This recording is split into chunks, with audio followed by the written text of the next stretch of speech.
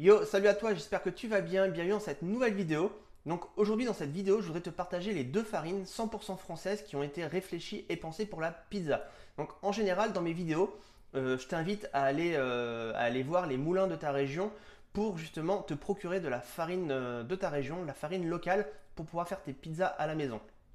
En général, ce sont pour la plupart des farines qui ne sont pas du tout pensées et réfléchies pour la pizza, ce sont des farines boulangères, donc plus pour le pain. Mais euh, je t'ai déjà parlé dans d'autres vidéos qu'il euh, y a deux moulins euh, en France, en tout cas il y en a peut-être plusieurs, mais moi j'en connais que deux, qui ont réalisé, qui ont, créé une farine spécifique pour la pizza. Donc c'est une farine avec un, un, W environ de 300 je crois, 300, 350, donc un bon taux de gluten, donc forcément c'est une, farine qui va être facilement extensible et qui va forcément s'adapter beaucoup plus à la pizza que des farines boulangères qui vont être beaucoup plus fragiles. Même si on peut faire de très très très bonnes euh, pizzas avec certaines farines locales qui, euh, qui s'adaptent très bien à la pizza. Des fois on découvre des pépites, c'est pour ça que je vous encourage régulièrement à aller voir les moulins de votre région pour pouvoir justement découvrir des pépites qu'on ne connaît pas forcément et qui s'adaptent vraiment à la pizza. En tout cas aujourd'hui je voudrais juste partager les deux moulins donc, euh, qui ont créé euh, une, farine spécialisée pour la pizza. Donc le premier moulin, c'est le moulin des Colognes. Donc euh, le moulin des Colognes, ils ont créé une farine qui s'appelle la Bio One Pizza. Donc je vais te mettre le lien dans la description, n'hésite pas à aller voir ce qu'ils font comme, comme farine et n'hésite pas à les contacter si tu veux tester cette farine. L'autre moulin, c'est le moulin bourgeois. Donc eux, ils ont créé une farine à pizza dernièrement qui n'était pas 100% bio et ils ont adapté la même farine en bio. Donc ça s'appelle, euh, je crois que la farine c'est la Bella Lucha.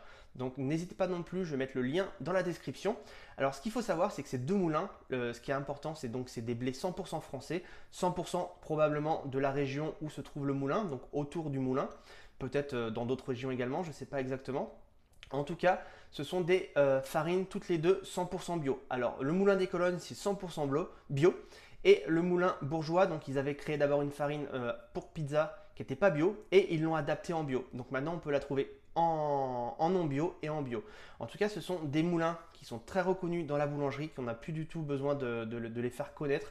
C'est vraiment des moulins très sérieux. Donc n'hésitez pas à tester leur, euh, leur farine à pizza. Donc euh, n'hésitez pas à les contacter par mail.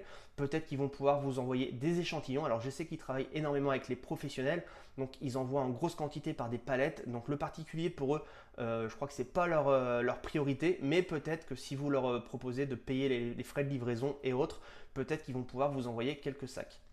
Donc voilà, donc je vous mets tout ça dans la description, donc n'hésitez pas à les contacter, à tester, et peut-être que si vous êtes plusieurs à les contacter pour justement tester leur farine, peut-être que ça va leur donner l'idée bah, de proposer cette farine aux particuliers également.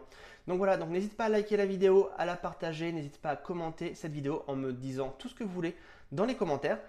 Alors demain, euh, je vais chercher mon frère à l'aéroport, donc à Paris, donc je vais avoir quand même pas mal d'heures de, route, donc peut-être que je vais faire un live, je sais pas, sur euh, YouTube, sur TikTok, sur Instagram, je sais pas, histoire de, bah, de, passer la route avec vous, de répondre à vos questions si vous en avez, donc je sais pas encore, ça va peut-être pas pouvoir se faire parce que je veux pas non plus me mettre en danger sur la route. Euh, à Paris, c'est assez chiant de circuler, donc je veux pas non plus me mettre en danger en faisant un live en roulant. Mais donc je vais voir, je vais, je vais voir, sinon ça sera une vidéo. Mais en tout cas, je voulais vous le signaler. Euh, et, donc n'hésitez pas si vous êtes débutant à télécharger le manuel indispensable comment bien choisir sa farine à pizza. C'est également le premier lien qui se trouve dans la description juste en dessous de cette vidéo. Si tu es débutant, n'hésite pas à le télécharger, tu vas prendre plein plein de choses justement pour bien choisir ta farine à pizza. Donc je vous dis peut-être à demain dans un live, je sais pas, et, euh, et sinon dans une vidéo. Ciao ciao